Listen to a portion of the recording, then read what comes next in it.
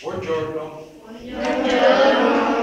Ci siamo già visti l'anno scorso. Eh, quest'anno parliamo di una cosa che si collega anche a quella dell'anno scorso, cioè c'entra sempre la natura, c'entra sempre essere buoni con la natura, quindi eh, aiutarla, quindi cercare di non far soffrire la terra. Questa è la terra, la terra che si guarda allo specchio e non è tanto contenta perché ci sono un sacco di problemi, tanti problemi. Uno dei problemi che abbiamo, il signor tripla R che abbiamo visto l'anno scorso, le, le tre R, quindi riduci, riusa e ricicla, quindi riduci la quantità di, adesso vediamo che cosa, riusa oppure ricicla, riduci la quantità di rifiuti, quindi c'è un'altra R, la R di rifiuti. I rifiuti, cosa sono i rifiuti? Che vuol dire rifiuti? Eh, si vedono, sono qua. Allora, qui vediamo, a parte la grande città dove vive tripla R, vediamo due posti che hanno un nome. Questo posto qua come lo chiamiamo? Discarica. La discarica non è una cosa buona perché perché nella discarica ci sono tanti rifiuti e come sono messi i rifiuti nella discarica? Sparsi, mescolati. E invece noi sappiamo che ogni rifiuto ha una sua personalità ogni rifiuto ha delle sue possibilità e noi potremmo fare delle cose diverse. Certo se stanno tutti nella discarica dobbiamo, dobbiamo fare qualcosa non è possibile che stiano tutti insieme. Questa è una discarica questo qui è invece un altro posto e ce ne sono due vicino a Terni che stanno dando tanti problemi e co come si chiama quest'altro posto? L'inceneritore. Cosa si fa nell'inceneritore? Si bruciano i rifiuti. Oh. E per, perché si bruciano i rifiuti? Cosa si produce? L'anidride carbonica, sì, si produce anche l'anidride carbonica, è vero però è il fumo, però non ce ne facciamo molto, perché si inceneriscono i rifiuti? In realtà per si chiamano termovalorizzatori, per scaldare si bruciano, si, si, bruciano i rifiuti e si scalda che cosa? Eh? Perché i fumi vanno, ma questo è quello che vedete, però, però, però dentro c'è qualche cos'altro, si scalda, il termovalorizzatore significa che scalda l'acqua. Si, si, prende una corrente di acqua, la si scalda e quindi si crea energia che poi serve per il riscaldamento. Questo potrebbe essere una cosa buona, potrebbe anche essere una cosa buona se sapessimo esattamente che cosa stiamo bruciando. Se sappiamo esattamente cosa stiamo bruciando, per esempio bruciamo l'erba, la paglia, allora produciamo un po' di energia e possiamo usarla per il riscaldamento. Però ci sono stati dei problemi perché spesso nei fumi, cosa c'è nei fumi? C'è l'anidride carbonica, ma ci possono essere anche dei composti che sono pericolosi, dei composti del carbonico che sono pericolosi. Bisogna essere sicuri che per esempio non si sta bruciando qualcosa che contiene l'amianto. L'amianto è molto pericoloso, un minerale che è molto pericoloso. Quindi ci sono tutte queste possibilità, però noi pensiamo che con i rifiuti si possa fare di più, con i rifiuti si può fare di più. E questo è molto importante, no? eh, perché ogni rifiuto ha la sua possibilità e ha sue, eh, la sua personalità e quindi ogni rifiuto ci sono rifiuti diversi. Per esempio c'è il vetro, sapete che adesso si fa la raccolta differenziata, abbiamo parlato anche l'anno scorso, c'è il vetro, poi cosa c'è? La plastica, l'organico, eh, l'alluminio, ecco, quindi già si comincia a differenziare già qualcosa. E, ehm, ecco, però effettivamente si possono fare, si può fare di più con i rifiuti in particolare io sono ingegnere dei materiali, quindi studio questi materiali, questi materiali di cui abbiamo parlato. Anche la plastica, ci sono tanti tipi di plastiche. Adesso ne riparliamo un po' meglio delle plastiche. E, e io lavoro però con i designer cioè insegno ai designer industriali, non insegno solo agli ingegneri, ma insegno ai designer industriali. Cosa fanno i designer secondo voi? Che mestiere fanno il designer? Cosa fa il designer? C'è qualcosa qua dentro che l'avrà fatto un designer? Quella sedia l'avrà disegnata qualcuno, il banco l'avrà disegnato qualcuno, quindi a quelli che fanno il disegno e il progetto per esempio dei mobili ma non soltanto dei mobili, degli oggetti, molti oggetti, ah, i, i designer dei computer per esempio, quelli che fanno il, il, il progetto dei computer. O, e i designer sono molto interessati a utilizzare i rifiuti per farci qualche cos'altro. Io insegno ad Ascoli Viceno, sapete Ascoli, in che regione è Ascoli? Non è lontana da Terni, se vedete sulla cartina non è lontana da Terni. Adesso abbiamo avuto i problemi col terremoto per cui non è facile arrivarci non è tanto facile arrivarci, però se andate a Norcia, se andate a Norcia poi c'era la strada che scendeva giù ad Ascoli. Ascoli in che regione è? Ascoli cosa c'è? Dietro le montagne che regione c'è? Le Marche. Le Marche, quindi Ascoli è nelle Marche. Ascoli è nelle Marche, dietro di c'è le Marche, ci sono le Marche, dopo Ascoli ancora, andate ancora un po' avanti arrivate al mare dall'altra parte, come si chiama il mare delle Marche? L'Adriatico, arrivate sull'Adriatico. Benissimo, Ecco, allora, i rifiuti, l'incenerimento produce dei, dei rifiuti, quindi l'inceneritore produce tanti problemi. La CO2 l'abbiamo già nominata, CO2 è l'anidride carbonica, perché C è il carbonio e O2 eh, sono due atomi di ossigeno ed è l'anidride carbonica.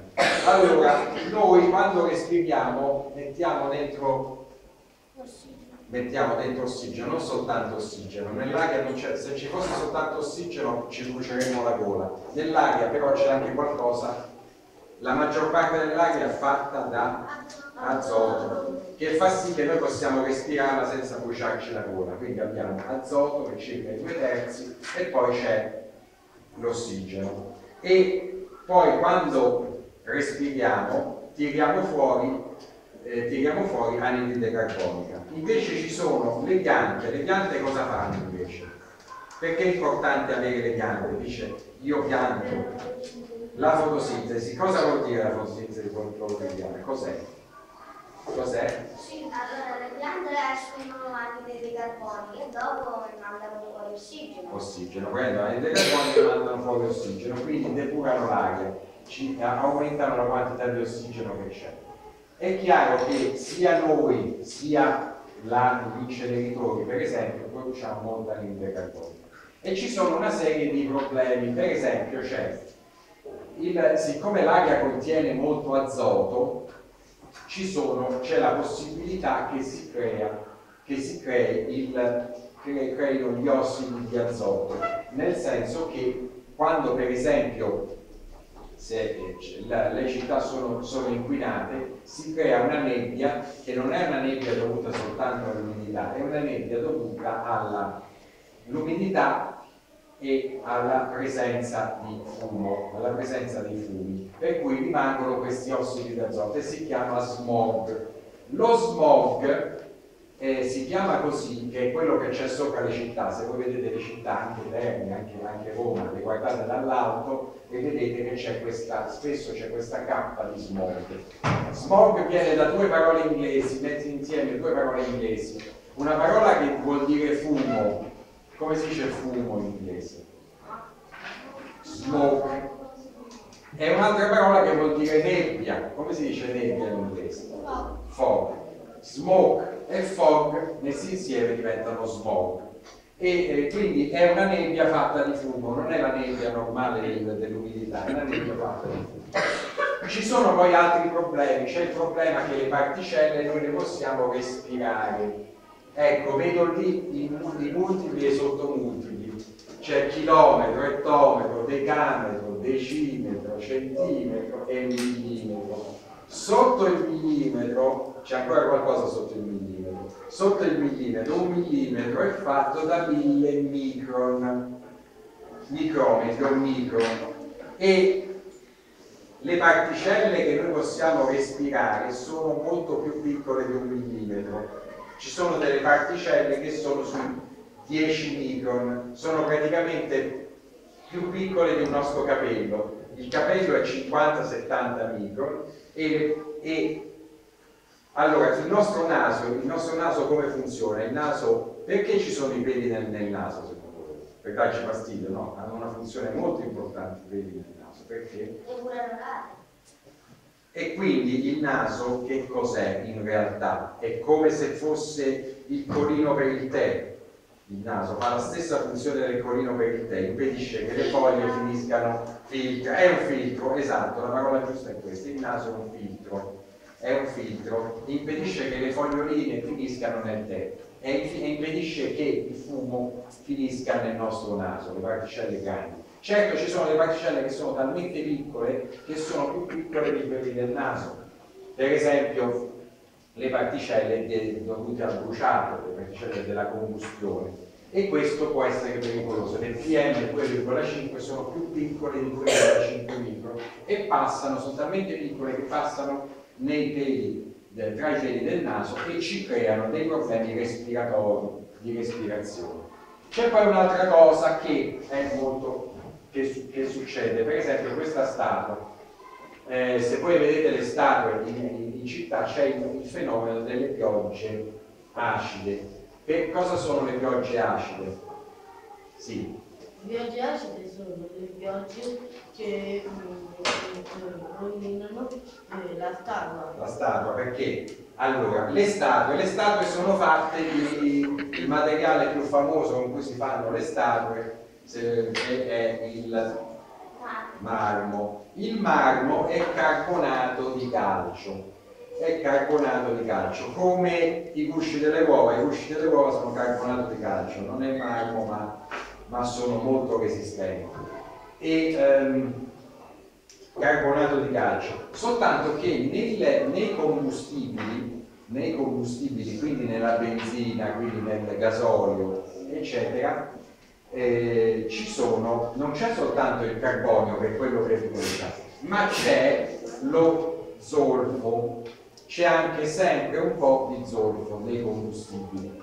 Lo zolfo fa un acido che è l'acido delle cipolle, perché bruciano gli occhi quando sbruciate le cipolle? Perché c'è, un acido che viene dallo zolfo e quindi siccome viene dallo zolfo si chiama acido solfo solforico. L'acido solforico è quello che fa bruciare gli occhi.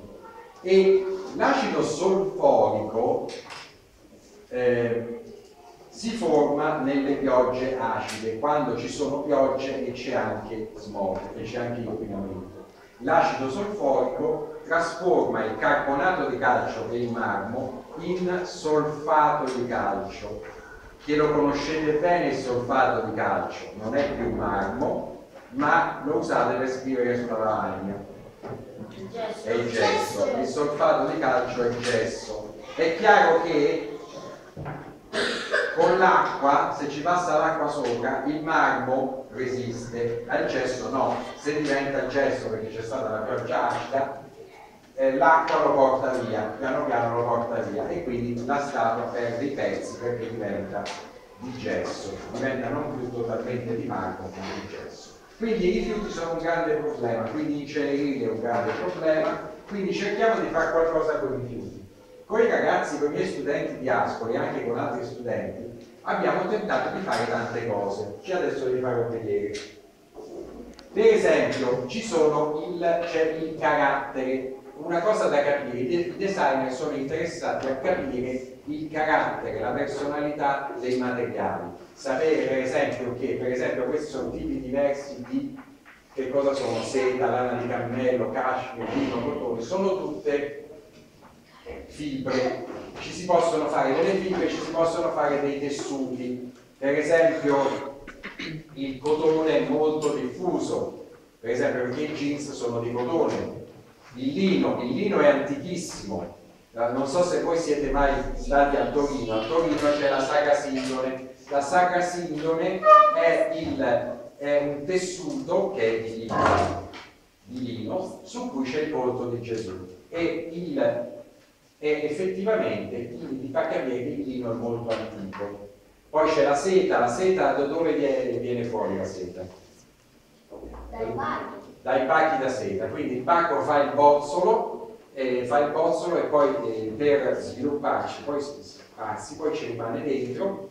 Io in ufficio ad Ascoli ho parecchi bozzoli, adesso bisogna capire bene, mi hanno dato un po' di bozzoli perché c'è un signore delle macchine che ha cominciato a utilizzare la seta, a fare la seta e allora mi ha dato un po' di bozzoli e si possono per esempio filare per esempio nei paesi dell'Africa utilizzano per esempio una lana di cammello, perché la lana normalmente, la lana che usiamo da che animale viene normalmente? Da Però nei posti dove non ci sono le pecore si utilizza il cammello. Ma ci sono anche delle fibre che sono un po' dure, strane, però si può, si può fare qualcosa. Si sta facendo molta ricerca sul fatto di avere tanti tipi di fibre diverse, perché ogni posto c'è una fibra Adesso vi parlerò ancora di un po' di altre cose, per esempio l'ortica. L'ortica, c'è una favola di Andersen, I cicli selvaggi, quella è la, è la principessa Elisa, l'immagine di questa principessa Elisa della favola di Andersen, che ehm, la principessa Elisa c'è stata, stata, questa maledizione, eh, questa maledizione, i suoi fratelli sono stati trasformati in cigni selvatici, in cigni selvatici e per far sparire il sortileggio di questo incantesimo doveva fare dei, dei, degli abiti di ortica. Però l'ortica, che problema ha l'ortica? crude perché, perché ha, de, ha delle, delle, spine particolari, dei, dei, dei peli, dei appuntiti che servono all'ortica per difendersi, per difendersi dalle altre piante, però per noi è un problema. Però anche sull'ortica si può lavorare, si può cercare di fare per esempio dei gomitoli e così via. E quindi le possibilità con le piante sono tante. Anche l'ortica può essere uno scarto, per esempio noi prendiamo l'ortica nei campi e invece di bruciarla possiamo pensare, come la principessa Elisa, di farci dei tessuti. E certo ci sono delle difficoltà. Buongiorno. Buongiorno. Come va? Buongiorno. Sei ripreso? Sì, sì. Grazie. Ok, perfetto. Bene, allora non soltanto l'ortica i peli per difendersi, ad esempio la pesca, questa è la pesca, vedete, sapete la pelle della pesca com'è? Sì. Che si protegge, si protegge dal, dal, dall'acqua, far colare via l'acqua per esempio, perché il frutto, perché le piante sviluppano i frutti? Perché noi ce li mangiamo? No. A che serve il frutto alla pianta? Per proteggere eh? il seme, che è la parte che a noi magari non interessa, quella che noi scarpiamo, ma la pianta sviluppa il frutto per proteggere il seme e lo protegge, questo è per esempio il kiwi il kiwi. Sotto, questo qua, questo qua, adesso questo si trova d'estate, ma questo vedete che, che struttura, vista il microscopio. Quello è un pomodoro, questo è un pomodoro, è un pomodoro in realtà, che ha tutte queste cellule all'interno. Non sono delle strutture piene, ma sono delle cellule. Le strutture cellulari sono buone perché, perché fanno le strutture cellulari le piante all'interno? Perché le cellule permettono di trattenere tanta acqua, tanto movimento. E allora ci sono queste strutture cellulari particolari. Per esempio, per esempio anche il, a sinistra invece abbiamo un frutto che quello è un tipico frutto estivo, è un tipico frutto estivo che è il, secondo voi che frutto è?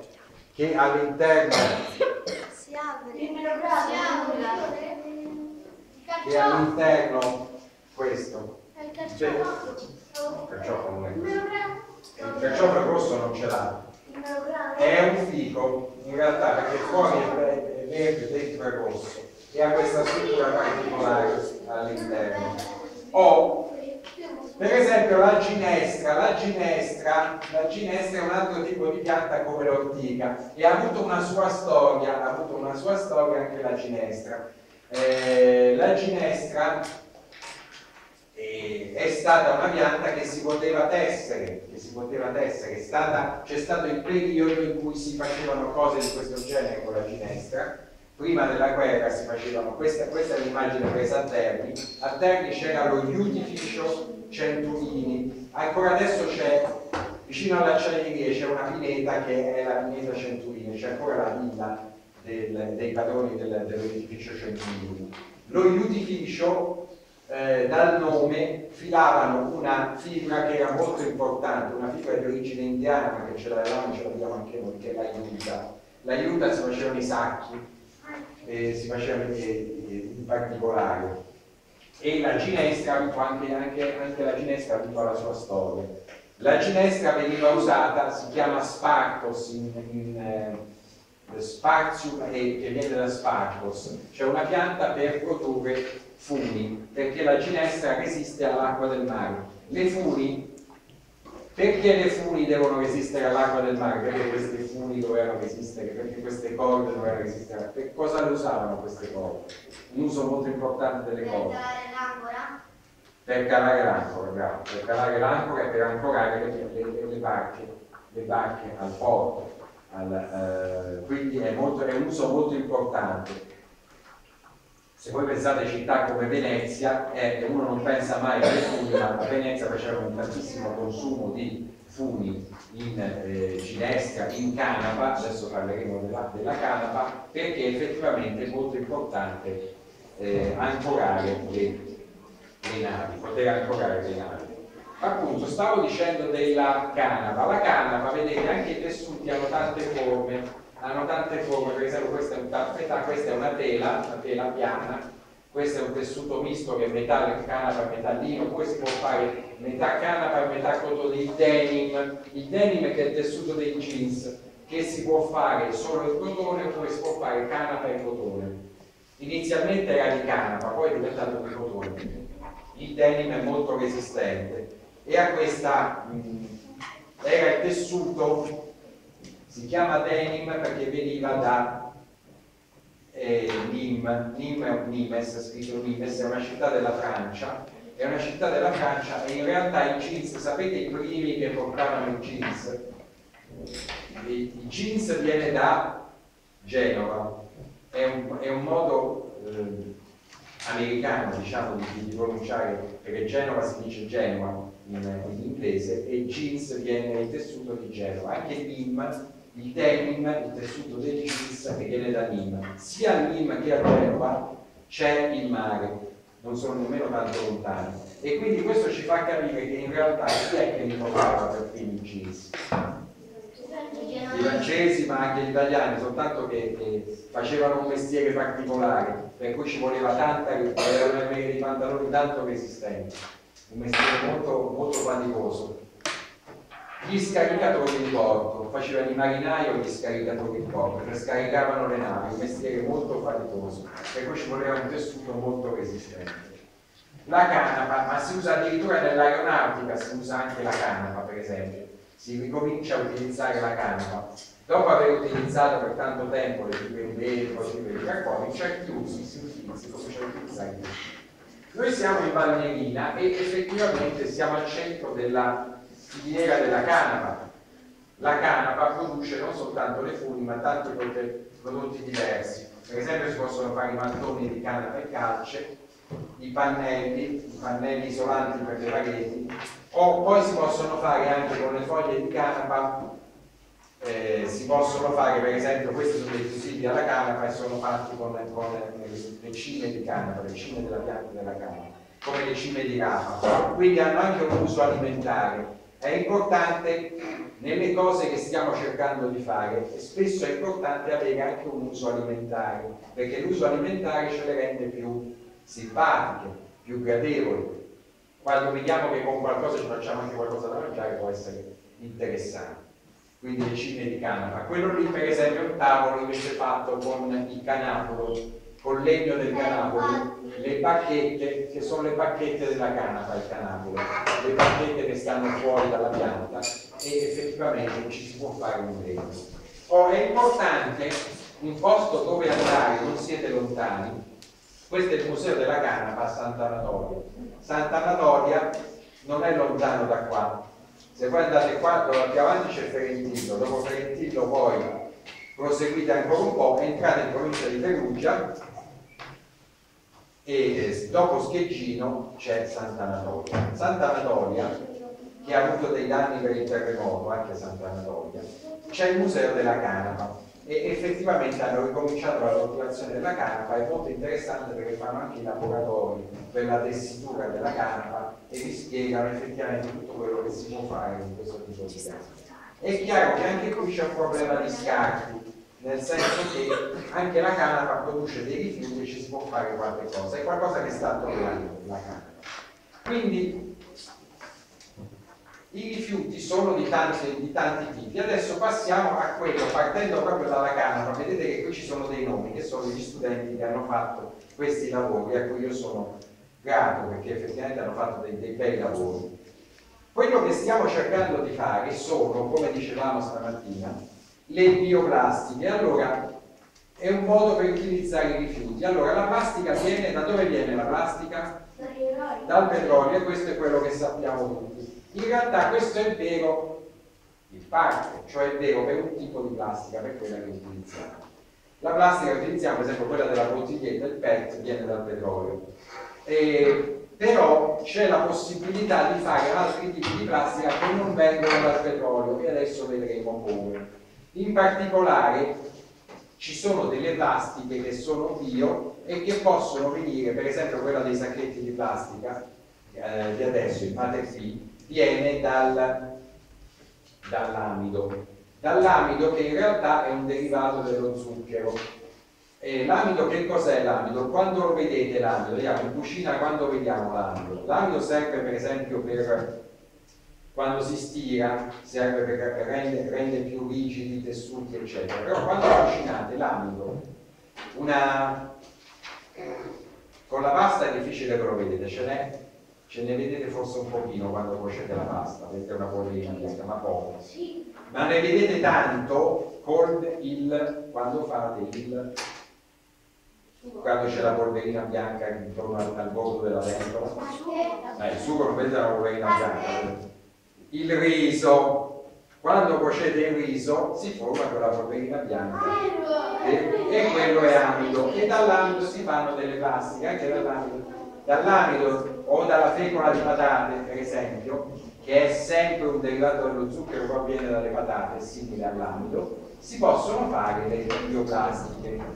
Eh, ed è una possibilità, quindi c'è una possibilità di plastiche non solo dal petrolio ma dai derivati della, della zucchero che sono l'amido oppure quell'altro derivato dello zucchero da cui si fa la carta la carta Sapete quando, eh, quando, è stata inventata la carta? L'altro giorno stavo parlando con, con, una persona che ci è venuta a trovare ad Ascoli, da un altro posto nelle Marche dove è nata la carta. La carta è nata nelle Marche. Se voi vedete, eh, c'è un posto nelle Marche dove è, qual, è, qual è il posto? Fabriano. A Fabriano nel Medioevo hanno inventato la carta, hanno capito che la cellulosa che si prendeva dalle piante, che si poteva prendere dalle piante dal legno e così via, si poteva fare la carta, si poteva stampare, si poteva stampare, si poteva mettere in uno stampo e effettivamente eh, fare una struttura di, di, fibra e fare la carta. La carta chiaramente ha un peso diverso, se voi leggete sulla, sul pacco di carta della stampante c'è una, una cifra, c'è un numero che che vi dice quanto pesa la carta, c'è carta più pesante, carta meno pesante e così via. Lì c'è scritto normalmente la carta della stampante è 80 grammi su metro quadro, che vuol dire che un metro quadro di carta pesa 80 grammi di quella carta lì. Poi c'è la carta molto spessa, ad esempio il cartone può pesare 200-300 grammi. Una carta anche più sottile, c'è anche una carta più sottile, per esempio, secondo voi il giornale la carta di giornale, se la carta della stampante pesa 80 grammi su metro quadro, la carta del giornale quanto peserà? 5. Cioè 5 poco, 5 non regge, 30, 30, 25, 30. Anche qua già 40, 40 è già abbastanza spessa. 5 non regge, 5 è sottilissima, sottilissima. È proprio una carta bellissima, molto bellissima.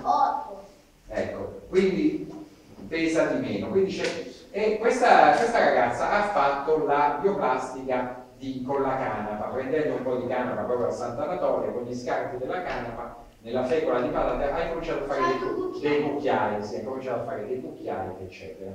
E la chiamiamo, gli, gli americani la chiamano la bioplastica fai da te, o anzi il biocomposito, perché c'è una plastica e dentro c'è una fibra. Fai da te, questa D, I, Y sono tre parole inglesi. Fai da te in inglese come si dice fai da te? Fai come si dice? Fare. Fare, fare, fare, fare. Io faccio, come dico io faccio in inglese? Ah, come si dice? I, eh, io, io posso. I I do. do. Do. Quindi la prima parola è do. E poi fallo, fallo, fallo. Come dice fallo? Do. Do it. Quindi la seconda parola è it. Quindi do it. Fai da te, da te. Quando, quando dico da te, ma proprio tu, eh, ma proprio tu, You. Ma quando dite proprio tu, You. dico myself, Yourself. yourself, cioè do it yourself, fallo da te, fallo proprio tu. E loro lo chiamano, fai da te, lo chiamano do it yourself, quindi DIY. E noi ti facciamo vedere che ci sono gli scarti, perché non ci vergogniamo del fatto che sono scarti.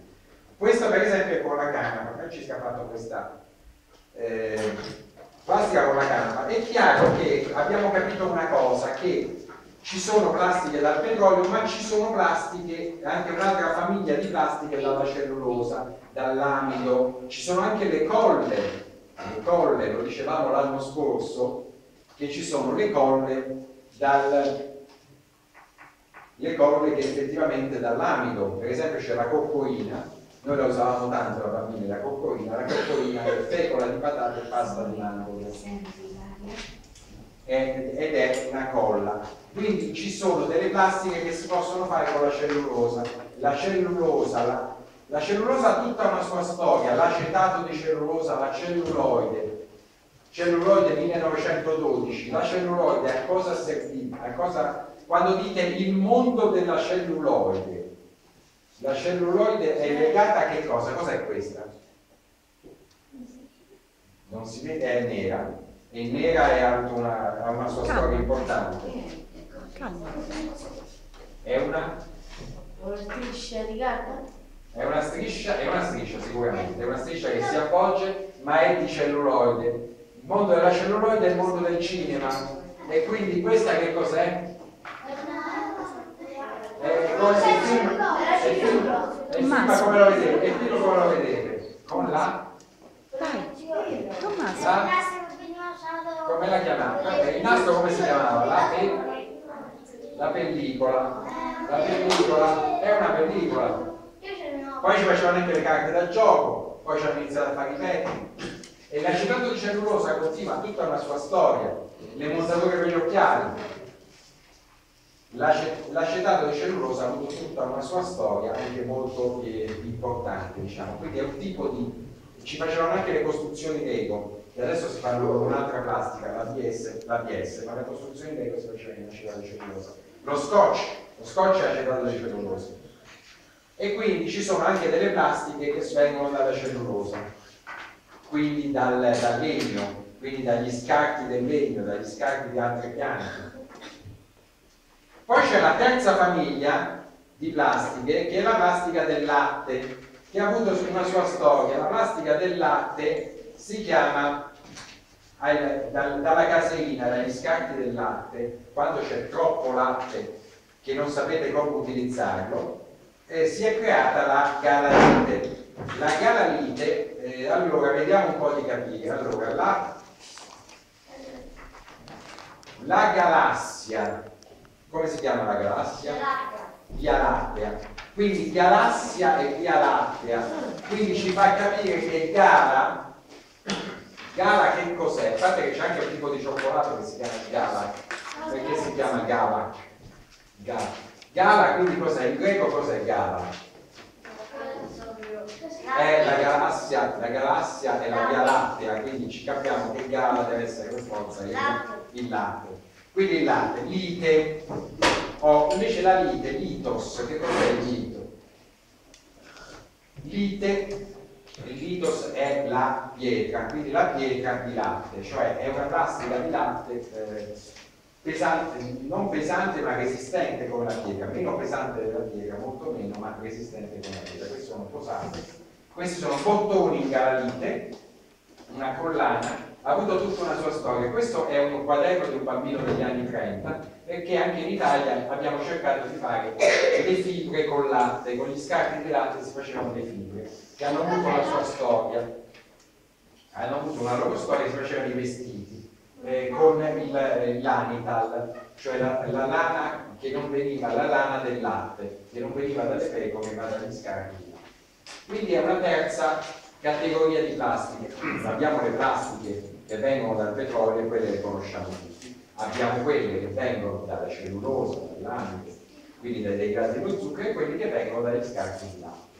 E anche noi abbiamo cercato di fare qualcosa. Allora abbiamo, ci siamo messi a fare un po' di bioplastiche, per esempio questa è dalla zucca, pecola di patate, caffè e aceto. O perché è una cosa che funziona tantissimo, adesso a Terni partiamo con un grande progetto, una cosa che funziona tantissimo per fare le plastiche sono i fondi di caffè. I fondi di caffè funzionano tantissimo perché contengono delle sostanze che si chiamano fenoli che sono molto buone per fare le plastiche. I fondi di caffè sono uno scarto, ne trovate quanti volete. Questa è colorata col succo di mirtillo, questa è la buccia di carota, poi ne abbiamo fatto ancora qualcosa. L'aceto c'è quasi sempre, l'aceto funziona bene. Questa è con gli scarti di arachidi, gli scarti delle, i gusci delle noccioline americane, sono tutti i primi esperimenti che abbiamo fatto. Poi abbiamo fatto anche di meglio. Questa per esempio è la sansa. Alla sansa, da dove viene la sansa? Avete mai sentito questo nome sansa? La sansa viene lo scarto della produzione invece di che cosa? Anticamente c'era l'olio di sansa. La sansa è quello che rimane quando spremete l'olio dalle olive e quindi rimane questo e si possono fare degli oggetti possono fare degli oggetti, potete mettere in una resina e fare degli oggetti, per esempio, perché è un materiale molto legnoso, molto duro e effettivamente eh, si può utilizzare, invece di andarlo a bruciare, si può utilizzare per fare degli oggetti. E poi c'è il problema del colore. Voi sapete, quando vedete gli ingredienti sui, eh, sui prodotti che mangiate, prodotti alimentari, vedete che hanno sempre un codice, se ci fate caso, sempre un codice che inizia per E e significa che è autorizzato dall'Europa, nel senso che si può utilizzare. E ci sono dei coloranti naturali, per esempio questo colore qua, l'antocianina, l'antocianina, l'antos, antos è il fiore in greco, antos, antocianina, è il, è il colorante che viene dalle arance rosse. Dalle arance rosse viene l'antocianina. Questo è un altro colore che viene da certi insetti e si utilizza per esempio per certi liquori, per farli rossi, certi liquori. Questo si utilizza per correggere il colore dei, dei formaggi, per esempio l'annatto, è un altro colorante naturale. Questa è la clorofilla, la clorofilla rende le piante verdi quindi sono dei colori naturali. Questo è un esempio di un portafrutta che abbiamo fatto in eh, bioplastica, questo è stato fatto a Napoli, eh, in bioplastica, in bioplastica ho ottenuto sempre da scarti di, di amido, quindi scarti di bucce praticamente, bucce di patate e così via. E questa, abbiamo fatto anche delle bioplastiche con delle foglioline qualche altra pianta. Perché? Perché è chiaro che quando non è che va tutto bene, quando fate le bioplastiche, la plastica che viene dal petrolio ha i suoi problemi, però non ha un problema che invece hanno gli alimentari, le, le, i prodotti alimentari, i prodotti naturali. Cioè se poi lasciate la frutta per un certo tempo, per esempio fuori dal frigo, cosa succede? Si secca e, e poi si ammuffisce. Si ammuffisce e non si conserva bene. Se poi fate caso, nella cucina si utilizzano molte erbe, per esempio che erba si utilizza in cucina?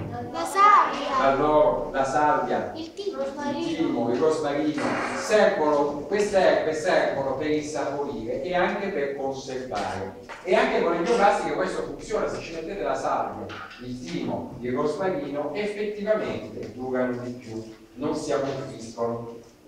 Ci sono delle muffe che vengono sfruttate anche nell'alimentazione, ci sono i formaggi con la muffa, ci sono i formaggi gorgonzola che è blu, poi ci sono i formaggi, c'è anche il formaggio francese, il brie, che ha una muffa che però è bianca, è sempre muffa eh, però. E eh, le, le erbe ci consentono di non fare ammuffire, di allungare la vita a queste piante. Ci siamo messi a studiare che tipi di colori potevamo ottenere, abbiamo visto che per esempio il giallo, diversi tipi di giallo ce lo danno diversi colori, lo zafferano, lo zafferano lo conosciamo bene, il rosso ce lo danno le barbabietole rosse, poi c'è un violaceo che ci viene dato dalle fragole, dalla marena, dalla barbara, eccetera, tutti i tipi diversi di colori. Il caffè chiaramente ci dà un marrone, come il tè che ci dà un marrone un po' diverso. Quindi c'è uno studio del colore naturale. La cosa interessante è che le bioplastiche le potete colorare con colori naturali e studiare i colori che la natura ci dà, che sono tanti. Tante sfumature diverse di colori. Questo è un porta cioccolatino dagli scarti di cacao. Dagli scarti di cacao questo ragazzo di, di Milano ha fatto un porta cioccolatino.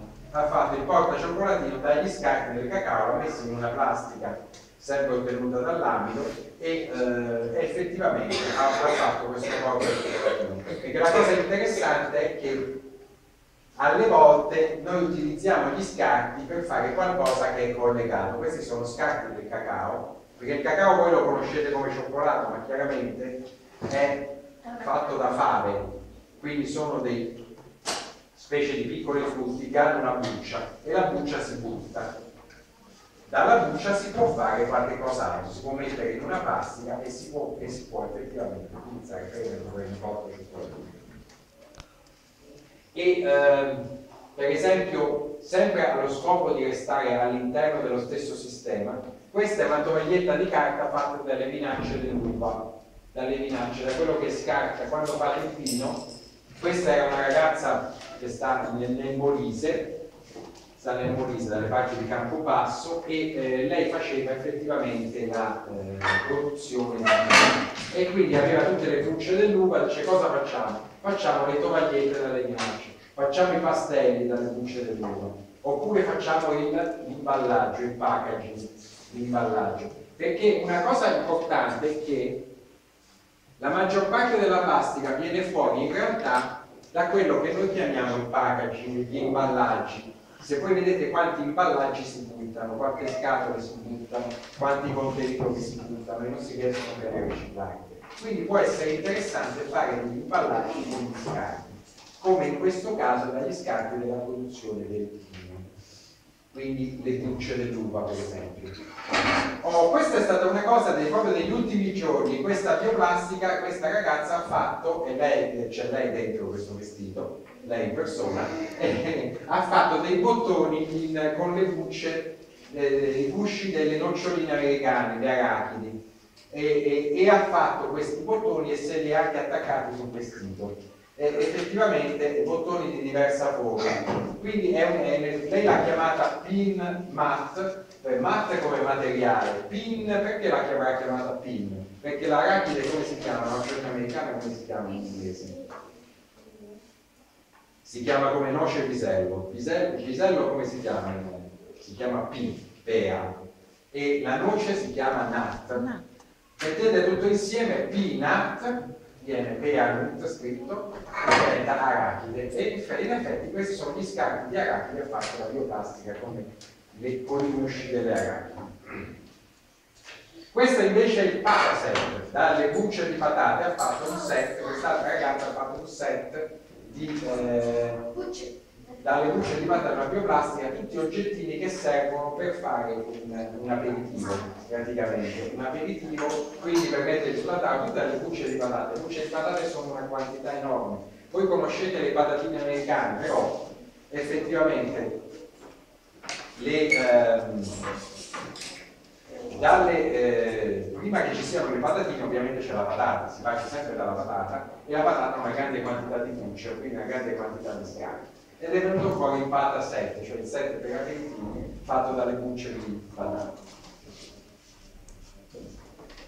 Questo invece è il mais, questo è il mais, il mais eh, sapete bene che è fatto dalle pannocchie e lì sono tanti oggetti fatti dal, dal mais, dalle pannocchie dalle, ehm, e quindi dagli scacchi e quindi dalla buccia che ogni chicco di mais ha una sua buccia che si chiama tutoro, il nome esatto è tutoro e questa buccia si possono fare effettivamente, si può sviluppare una bioplastica e fare tanti tipi di oggetti, particolarmente pochi oggetti, anche tentato di fare qualche maschera. Una delle cose che ci ha dato molta soddisfazione negli ultimi tempi è che abbiamo fatto, sapete che adesso c'è stato il carnevale, ad Ascoli abbiamo fatto anche eh, delle maschere con, con, i ragazzi dell'istituto tecnico, delle maschere di carta pesta, di carta pesta, quindi dalla carta, dagli scarti di carta agli scarti di giornale abbiamo fatto delle maschere. Le maschere può essere un, un utilizzo interessante perché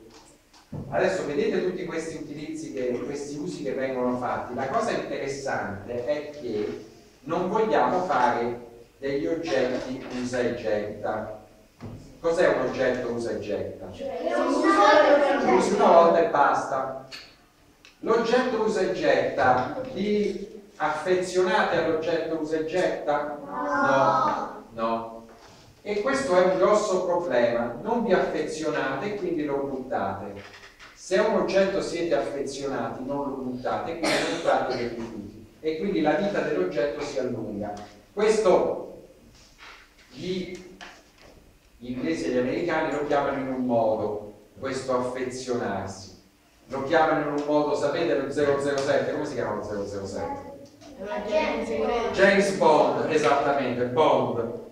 Bond. Il Bond in realtà, non James Bond, il Bond è il legame Bond significa creare un legame, quindi si dice che bisogna creare un legame. Se voi avete un giornaletto che vi piace, non lo buttate via, perché si è creato un legame, se avete una bambola, se avete una macchinina, se avete qualche cos'altro, qualche oggetto che vi piace, o magari anche il vostro telefonino, magari avete il telefonino, dice si è creato un legame, mi piace, lo voglio tenere. È importante per il design, è importante creare questo legame, questo bond, perché alla fine dimmi, eh, io eh, avete detto tutti da noi con le, con le cose, seicetta, io invece le tengo qualcosa. Come il bicchiere, non è che lo uso. puoi riutilizzare. Io lo uso più volte, a una settimana, due, uso molto tempo. Eh, finché dura, infatti è importante questo perché, perché avevamo detto l'anno scorso a proposito anche della biomimetica di R che effettivamente una cosa importante è ridurre la quantità di rifiuti, fare meno rifiuti. Se voi allungate la vita degli oggetti fate meno rifiuti. Quindi cerchiamo di fare degli oggetti a cui uno si possa affezionare. Il design dà questo valore agli oggetti. Il design fa in modo che uno si possa affezionare agli oggetti. Pensate che per esempio una delle sedie più diffuse, sedia, una sedia con una struttura di paglia, che sicuramente avete visto nella maggior parte per esempio dei ristoranti, dei bar eccetera, è una sedia che è stata fatta da un signore, è stata progettata da un signore più di 150 anni fa, la sedia Tonè, ne ha progettate tante, in particolare la Tonè numero 14, è una sedia che è durata per tanto tempo, si è creato un legame, quindi il design crea un legame con gli oggetti, li fa durare.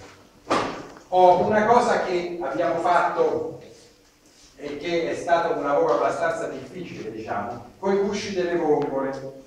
È stato complicato perché i gusci delle vongole sanno molto di mare e allora tritando e non hanno un odore molto buono. Però mettendoli insieme con altre bioplastiche, eh, con, eh, in questo caso con il biotecnico di, di Fermo, Fermo è appena sopra Ascoli, c'è qui sulla cartina, eh, Fermo è un'altra città che non è lontano dal mare, e eh, abbiamo fatto questa, questa, collaborazione, abbiamo creato effettivamente questi, questa bioplastica con gusci di vongole, abbiamo fatto oggettini, per esempio questo è un po' un abiti, e diversi, diversi oggettini con colori naturali, perché anche il colore, dare dei colori diversi contribuisce al legame, aumentate il legame con l'oggetto. Quindi è molto importante tutto questo. E effettivamente eh, colorare anche con colori adatti per gli alimenti. Questi sono i gusci di vongole nella bioplastica. Questa è la bioplastica senza gusci di vongole per vedere l'effetto che faceva. E eh, dopodiché abbiamo fatto una bioplastica a base di amido e, e, e ci abbiamo messo i gusci delle, dentro i gusci delle vongole e in effetti neutralizzando anche l'odore perché c'è il problema per esempio che molte bioplastiche hanno dentro l'aceto però si può neutralizzare con altre erbe, ci si mette l'erbe, erbe come sale, timo, il rosmarino, oppure si può provare col limone invece che con l'aceto, perché un po' di acido serve, no? un po' di acido serve per l'aceto. Eh, normalmente eh, si creano quindi questi piccoli oggetti, si possono fare anche oggetti più grandi, stiamo tentando di fare anche oggetti più grandi, faccio vedere ancora qualcos'altro. Per esempio queste sono le plastiche di latte, sempre plastica a base di latte, abbiamo fatto una galalite, anche qui la plastica a base di latte è un altro set per aperitivi.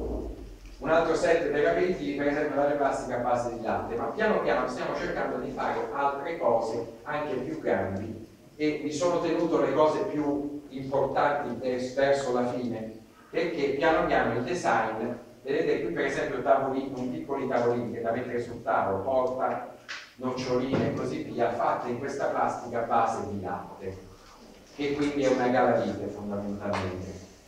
È stato un lavoro che è durato qualche mese e effettivamente eh, consente appunto, qui c'è il bricco del latte, non a caso, che sono tutte plastiche a base di latte. Quindi, come vi dicevo, le tre categorie di plastiche, quelle a base del petrolio, che continueranno a esistere, ma esistono anche gli altri due tipi a base di cellulosa, quindi bianco, e a base di latte. C'è poi questo ragazzo, questo ragazzo, il papà, fa un lavoro molto bello e lavora con cuoio. Secondo voi che lavora? Uno che lavora con il cuoio. Calzolaio, esattamente, il calzolaio. Il calzolaio ha tanti scarti di cuoio e allora lui ha provato, lui ha provato a fare dei bottoni, come con la garavite facciamo i bottoni, c'era un po' l'ufficio di questi bottoni ha messo la moneta, perché ha messo la moneta qua? Non porta... Perché ci si mette la moneta secondo voi? Perché fa il cerchio. Per far capire quanto sono grandi. Ah. Se voi, volete far, se voi volete fare una foto e far capire quanto sono grandi gli oggetti, o ci mettete il righello, però è più complicato, oppure ci mettete per esempio una moneta, tanto la moneta lo sanno tutti quanto è grande. E allora, eh, per far vedere questi bottoni, lui si è fatto lo stampo e effettivamente ha forato questi bottoni e eh, funzionano molto bene, bottoni di forma diversa. È chiaro che si capisce che non sono bottoni di, una plastica a base di petrolio, ma sono bottoni di, eh, di, un altro tipo di bioplastica che in effetti è a base di amido sempre, ma con il cuoio dentro. E ha fatto anche questo oggetto qui. È riuscito a cucire, ha fatto questo oggetto qui. Secondo me questo... Esatto, questo, questo è un portaocchiali questa è una fotega per gli occhiali, un portaocchiali e ha riuscito a cucirlo, l'ha cucito da solo e ha fatto questa, eh, questo portaocchiali con questi scarti di cuoio. Gli scarti di cuoio sono una quantità enorme, in realtà c'è una quantità enorme di scarti di cuoio e mh, mm, quando si, eh, si lavora il cuoio e così via. Bene, siamo arrivati quasi alla fine, poi magari ci sarà tempo per qualche domanda, ma una cosa che mi ha dato tantissima soddisfazione è questa, che l'ha fatta una ragazza che è venuta a lavorare da noi, è venuta per un periodo da noi, ma lei, come vedete dal nome, è di, di, di origine colombiana, lei è colombiana, la Colombia è un paese, in che, in che continente sta la Colombia? In Sud America. E ha fatto questa bioplastica a base di carote, con le buccia di carote, e ha fatto questa lampada, dietro c'è la pila, si accende con questo bottone e ci ha messo tutti questi dischetti di, eh, è una lampada per bambini perché in realtà non è pericolosa e si possono sostituire, sostituire tutti questi, eh, questi pezzi, possono, ne possono fare altri.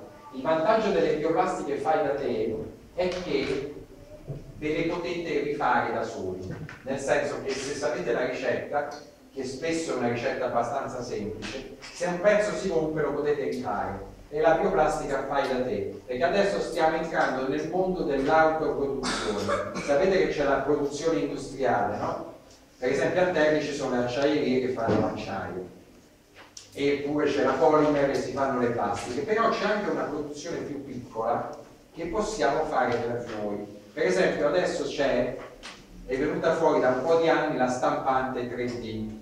La stampante 3D ha un filo, un voi sapete tutti cos'è la stampante, la stampante serve a stampare fogli. La stampante 3D serve a stampare oggetti, nel senso che c'è un filo che si può fare rammollire e può fare degli oggetti che si possono stampare, eh, eh degli oggetti più grandi, è 3D nel senso che sono oggetti tridimensionali, non, sono, non è semplicemente una stampa su carta. La stampante 3D eh, viene normalmente alimentata con una bioplastica che si chiama l'acido polilattico, PLA, però si possono fare delle bioplastiche per, fare degli, per farsi farsi ognuno il proprio filo della stampante e quindi prodursi degli oggetti. Quindi il futuro sarà che molti di noi, molti di voi riusciranno a farsi l'autoproduzione degli oggetti, come in questo caso. Questa per esempio è la lampada quando è accesa la, la luce, in realtà un LED. E, e, e, vedete, che effettivamente e vedete l'effetto che fanno questa bioplastica a base di luce di carote eh, ho finito, se avete delle domande sono contento di rispondere, dimmi. Sull'ultimo, sull'ultimo, non ho capito una cosa. Su questo, quando è acceso? Quindi qui è acceso. Beh, questa è una lista... Tutte quante, non è che è accesa su una. No, è acceso su tutte quante, no, perché ha fatto un sistema tale che si, si, tale che si vede la luce, la luce del LED attraverso eh, tutte quante, perché i LED sono molto piccoli, quindi effettivamente dà questo effetto. È interessante l'acqua di carota perché dava questo effetto, non è trasparente, ma è traslucente, è semi-trasparente e quindi effettivamente riesce a, a dare questo effetto. Eh, lei ha fatto la ricetta, come al solito c'è l'aceto, però ehm, come spesso succede, però in realtà non dà un grosso eh, odore perché è neutralizzato dal glicerolo e dall'amido di mais. Quindi lei l'ha chiamata Onyx perché dà un effetto un po' come l'onice. E, e, questi sono dei pezzettini invece degli scarti di legno praticamente. Quindi potete sbizzarrire la vostra fantasia, vi, vi, effettivamente gli studenti hanno testato tantissime cose diverse e ancora ne stanno venendo fuori tante adesso deve venire fuori, tra qualche giorno stanno facendo un orologio in bioplastica, un orologio in bioplastica e questo è un progetto molto interessante perché il primo non ne ho, non ne ho ancora visti. Sì. Danno 21, 22 anni. Danno l'università. Eh, sono, sono, sono grandi, eh. Sono grandi però insomma a volte si mettono in gruppo, fanno un lavoro di gruppo, come questo dell'orologio sono in tre, sì. Mi provare invece di buttare le cose per la petissina ci fa dei gatti.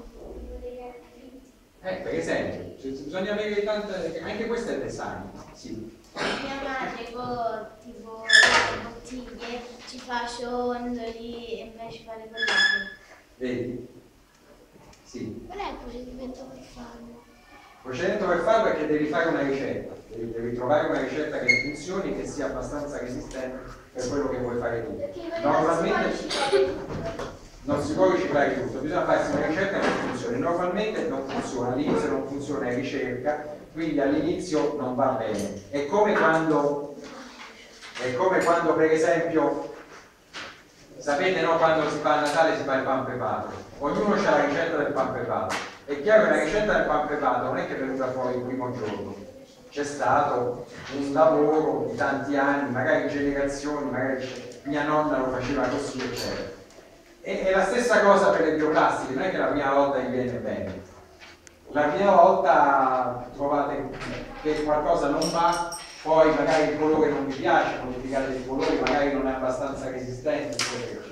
Cambiate le quantità, cambiate la temperatura perché dovete cuocerlo in qualche modo, lo dovete mettere sul fornello, cambiate i tempi per cui lo fate cuocere, cambiate il modo di mescolarlo e piano piano viene fuori qualcosa di cui uno è abbastanza contento. I ragazzi che hanno tirato fuori questo, questo orologio da, da, da, scrivania in realtà ci stanno lavorando da tre mesi.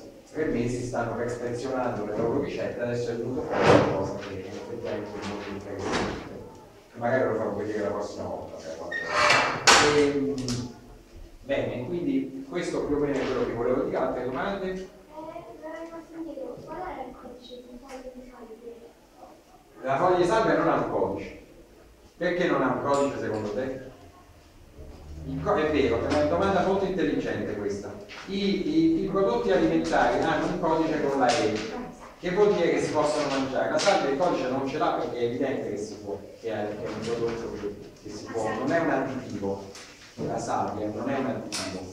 Cioè non è che la pasta ha un codice, la pasta non ha un codice che si sa che è buona da mangiare. Poi ci sono gli additivi che hanno questi codici con la E Alcuni poi col tempo sono stati cancellati, nel senso che alcuni erano, prima erano considerati buoni da mangiare, altri poi, e poi sono stati, eh, avevano dei problemi che sono stati eliminati.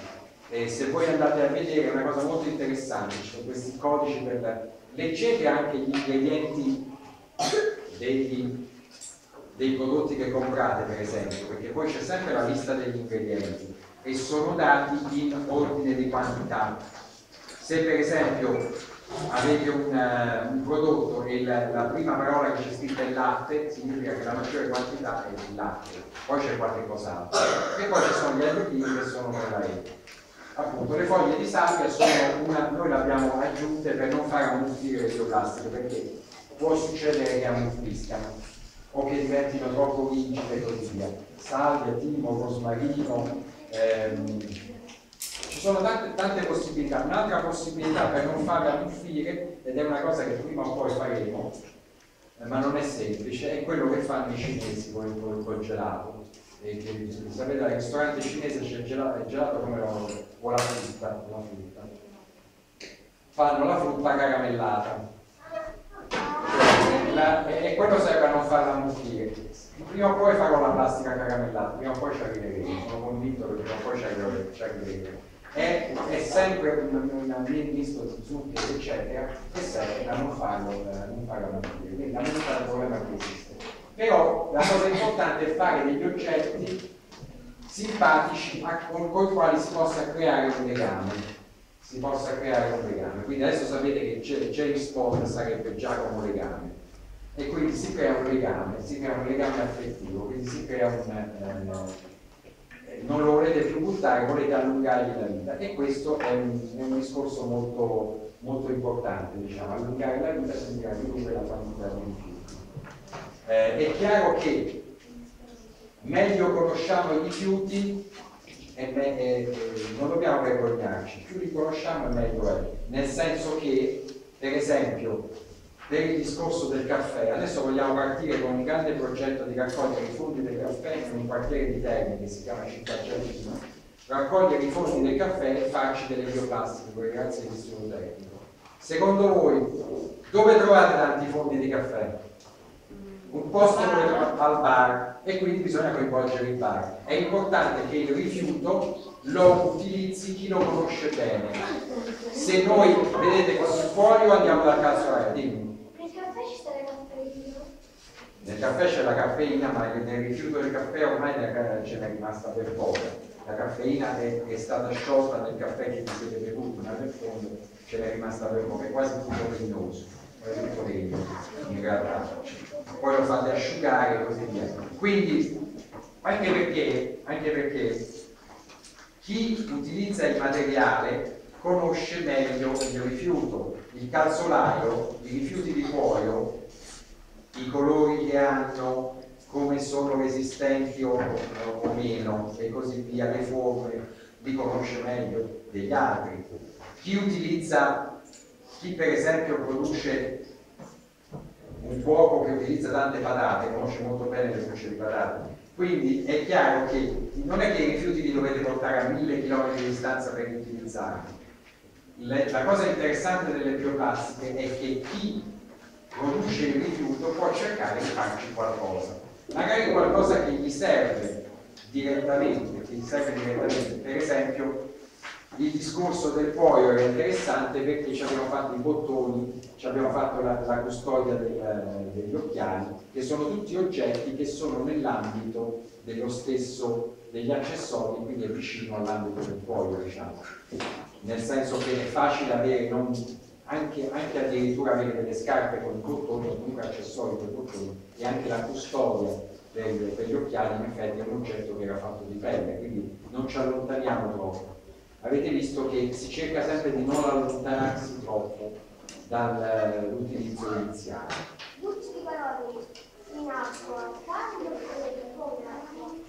Buccia di carota in acqua, ha fatto un'acqua di carota, in realtà l'acqua di carota all'inizio era fredda, poi dopo l'ha scaldata, adesso non mi ricordo la temperatura esatta che ha utilizzato, ma mi l'aveva scritto tutto, ma penso che sia, sia andato sui 60-70 gradi normalmente. Ogni bioplastica ha le sue caratteristiche di temperatura e di tempo. Praticamente questo serve anche a imparare una cosa che a scuola sicuramente imparate, che si chiama, che è quello per cui è famoso Galileo. Galileo ha inventato, ha inventato, meglio ha perfezionato, una cosa che si chiama il metodo sperimentale.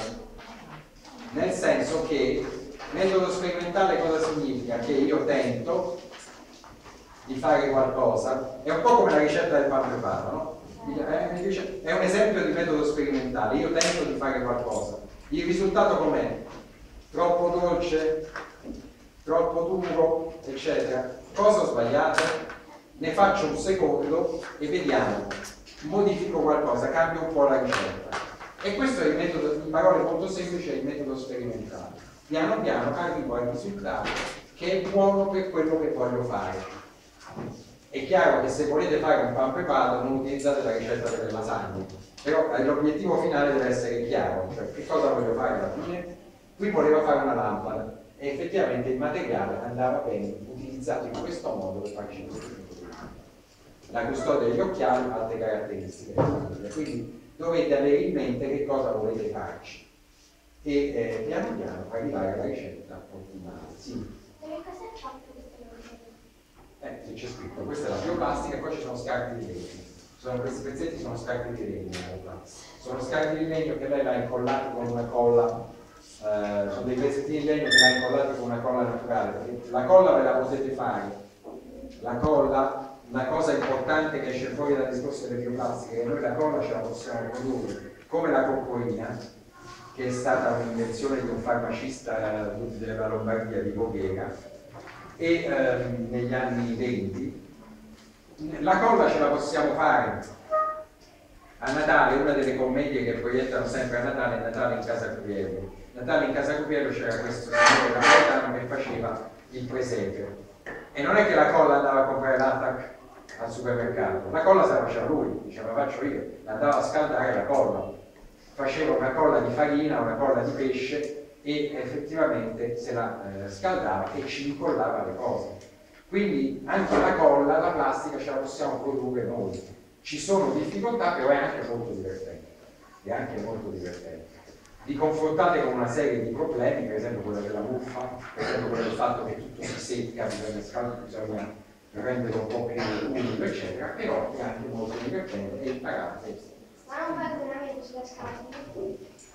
Ma come se cuoci qualcosa, non è che fai un grande inquinamento. Cosa importante, cerchi di mantenere la temperatura più bassa possibile, non è che vai con una temperatura altissima, la temperatura deve essere quella che ti serve, i tempi quelli che ti servono. Va bene? Come li cambi? Carico, quindi siamo carico.